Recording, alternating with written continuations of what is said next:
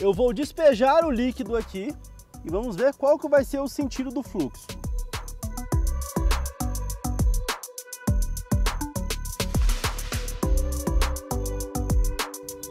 Soltar o freio de mão e desengrenar.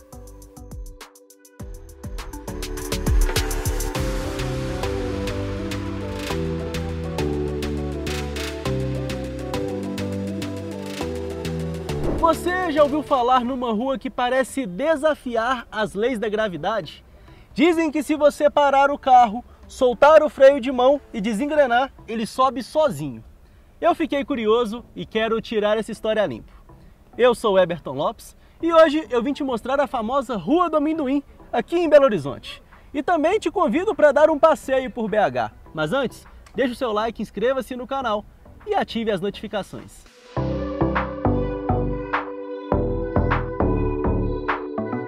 Para te mostrar a Rua do Amendoim, eu vou me deslocar até o Mangabeiras, bairro de classe alta, repleto de mansões, que fica no final da Avenida Afonso Pena, a principal de Belo Horizonte e que você vai conhecer comigo agora.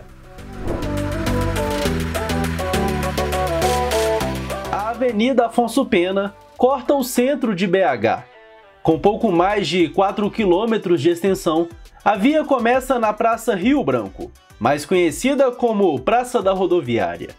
Em linha reta, a avenida passa pela Praça 7, considerada o marco zero da capital mineira. No trajeto até o bairro Mangabeiras, passo por locais importantes para a cultura e a história de Belo Horizonte, como o Cine Teatro Brasil, o Café Nice, o Edifício Acaiaca, a Igreja São José, o histórico Hotel Otton Palace que encerrou as suas atividades recentemente, o Parque Municipal Américo René Gianetti, a Prefeitura, o Teatro Francisco Nunes, o Palácio das Artes, o Conservatório de Música da UFMG e a Praça Tiradentes. E vamos subindo!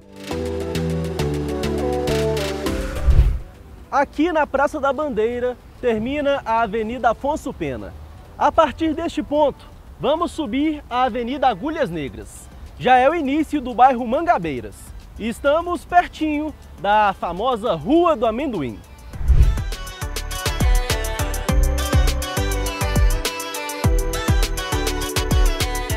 E cheguei aqui aos pés da Serra do Curral.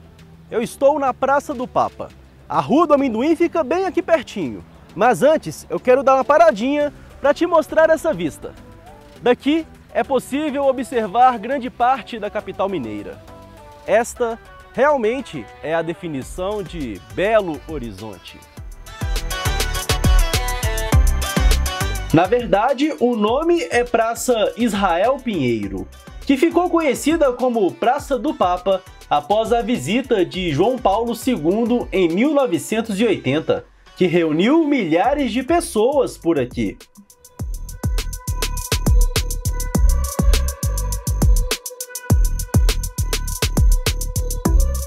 Contornando a Praça do Papa, já começo a descer. À direita está a rua que me fez chegar até este local.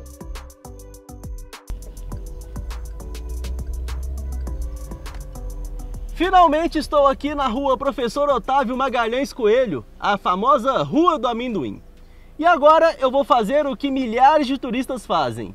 Eu vou desligar o carro, soltar o freio de mão e desengrenar. Vamos ver o que vai acontecer.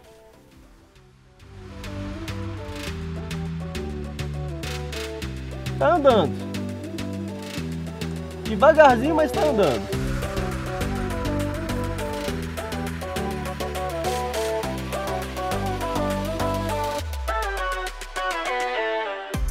Algumas pessoas falam em depósitos subterrâneos de minérios imantados que poderiam atrair o carro com a força magnética. Mas se isso for verdade, se eu soltar aqui um objeto não metálico, ele deveria rolar no sentido contrário, não é mesmo?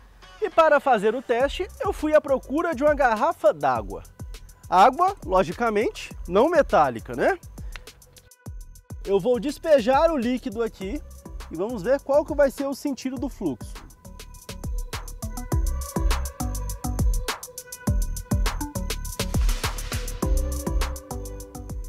A água parece estar subindo o morro.